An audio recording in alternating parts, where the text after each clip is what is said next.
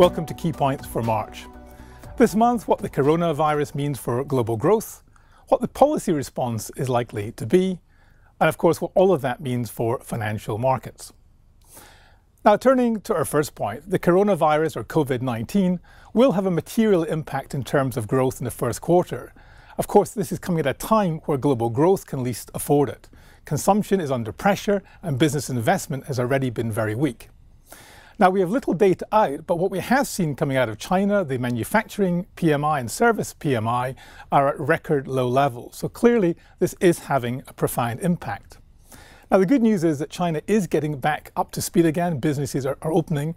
But of course, the spread of the virus is a, a bigger concern and the uncertainty that that creates. Now, we think indeed that the global environment will see a dip, but it will recover as we get into the second and third quarters.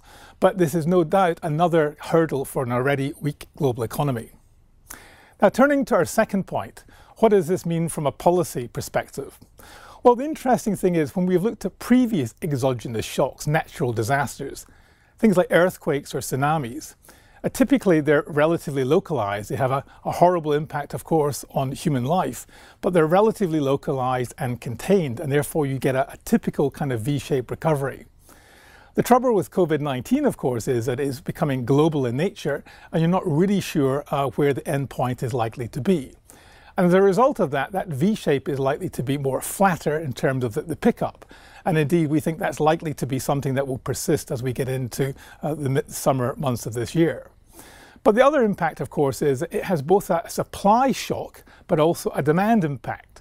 So a supply shock meaning that businesses are closing their doors. It means that supply chains are being cut uh, down or shut down. And therefore it means that the, the supply element of the economy is being constrained.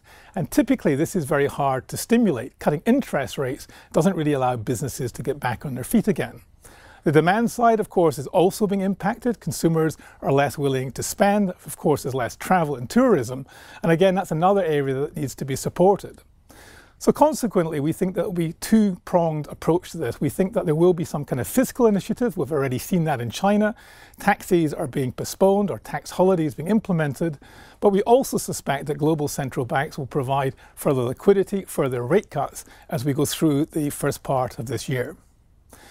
Now, turning to our third point, what does this mean for financial markets? Well, you'll know that we said uh, a couple of times already this year that we felt that markets were stretched, equity markets were, were due for a correction, and indeed that's what's happened. We've seen one of the sharpest corrections in recent days, with the S&P 500 falling between sort of 10 and 15 percent, and we suspect that that's taken a lot of the heat out of these markets. We're back to levels that we were trading around roughly about October last year.